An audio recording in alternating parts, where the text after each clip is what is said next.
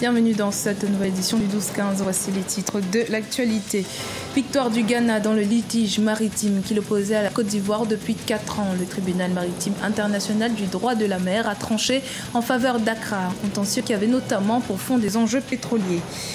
Découverte de la success story de Jean-Marie Vianney à Biarrémier, un ancien enfant de la rue désormais à la tête d'une petite entreprise de fabrication de bijoux au Rwanda et de la mode avec la styliste modéliste congolaise Karine Palawenge qui a présenté sa nouvelle collection ce samedi à Kinshasa, collection qui est une ode à son pays, la République démocratique du Congo.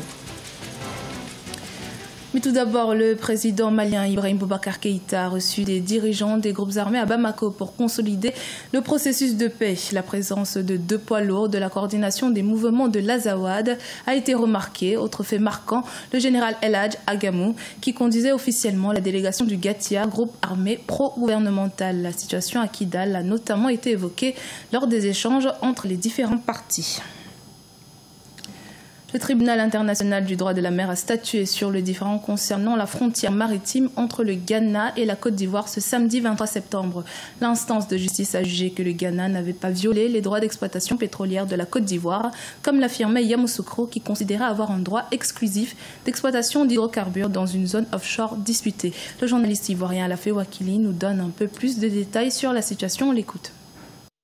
L'exploitation avait cessé depuis 2015 pour que décision soit rendue. Maintenant que la décision est rendue, l'exploitation pourra reprendre au profit du Ghana exclusivement. C'est dommage parce qu'à un moment donné, il avait été question de partage de production, euh, une sorte d'arrangement, d'un règlement à l'amiable en dehors de la décision de justice. Un tel règlement à l'amiable aurait permis aux deux pays d'exploiter la zone et de tirer profit de cette situation. Maintenant, ce n'est plus le cas il faudra que la décision de, du tribunal soit appliquée dans l'intérêt exclusif du Ghana. Donc, la production ayant été arrêtée, elle reprendra au profit du Ghana. Cela n'empêche pas certainement que de nouvelles négociations se poursuivent et que, au-delà de la décision de justice, des nouveaux pourparlers se fassent pour trouver une euh, situation qui prenne en compte aussi les préoccupations de la Côte d'Ivoire. Dans l'actualité également, l'opposition togolaise a annoncé une nouvelle série de manifestations de rue pour réclamer le retour à la constitution de 1992, une situation qui préoccupe le gouvernement togolais qui pointe du doigt l'impact négatif de ces manifestations sur l'économie du pays. En effet, selon un des conseillers spéciaux du président togolais pour deux jours de manifestation, le manque à gagner pour l'économie togolaise s'élèverait à plus d'un milliard de francs CFA.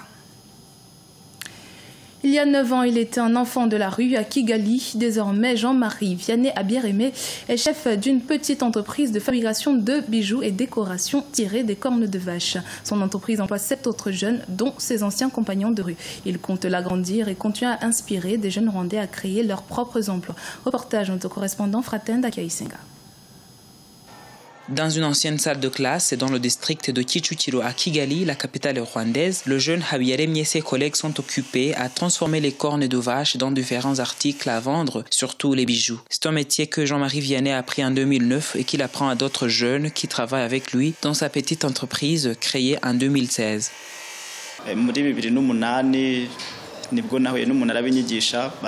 Tout a commencé en 2008. Je venais de passer six mois à la rue et une bienfaiteur japonaise m'a récupéré et pendant trois mois, elle m'a appris à faire différents objets dans les cornes. Par après, je suis retourné à l'école et quand j'ai terminé mes études secondaires en 2015, j'ai décidé qu'au lieu de chômer, je vais valoriser la corne qui ne servait à rien dans les boucheries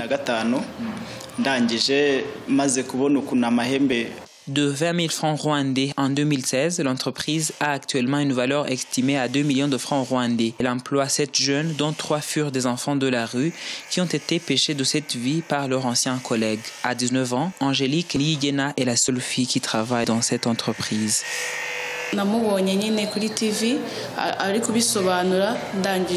Après mes études secondaires, j'ai passé quelques mois sans emploi et puis j'ai vu Jean-Marie qui expliquait ce qu'il faisait à la télévision. Je suis vite venue m'inscrire pour une formation de trois mois et après j'ai été embauchée. Bien sûr, c'est fatigant et salissant pour une jeune fille, mais ce n'est rien quand on peut se payer tout ce dont on a besoin. Les objets que ces jeunes produisent sont vendus dans différents supermarchés à Kigali Et dans des expositions autour du pays. Pour agrandir son entreprise, Jean-Marie Vianney Habiyaremie envisage de quitter la petite salle de classe pour un endroit plus confortable.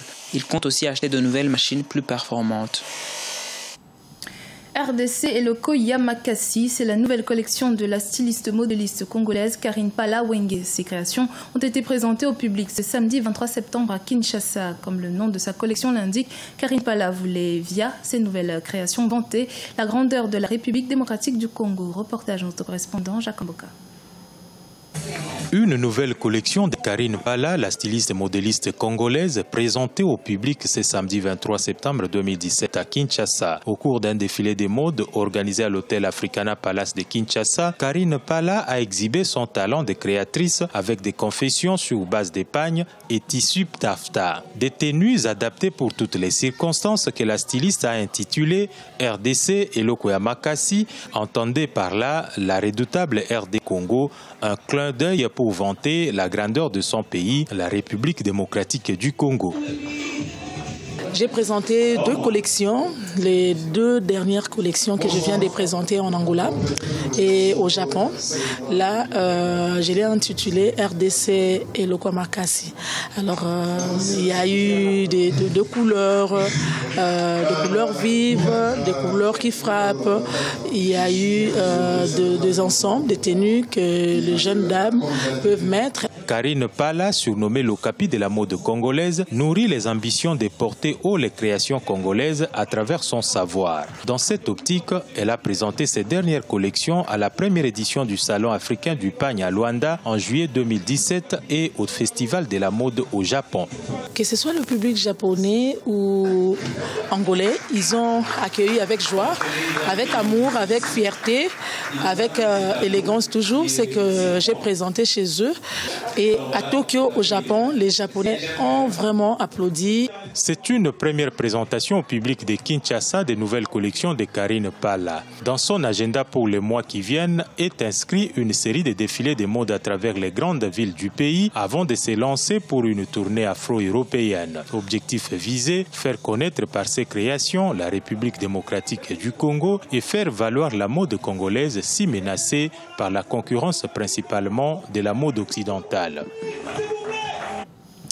Du sport avec les demi-finalistes qui sont désormais connus en Coupe de la Confédération. Les Sud-Africains de Supersport United affronteront les Tunisiens de Club africain après avoir obtenu leur ticket en s'imposant face aux Esco United samedi à Ndola en Zambie. Et le TP Mazembe, tenant du titre, affrontera FUS Rabat après avoir écrasé les Soudanais du Hilal El Obied 5 buts à 0 en quart de finale.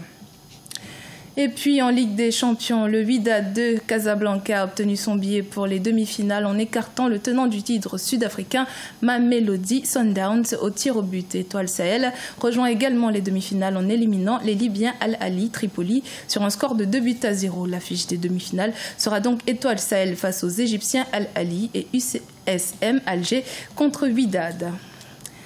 C'était le journal de la rédaction. Merci de votre fidélité. Dans un instant, une nouvelle édition de l'actualité sur Africa 24.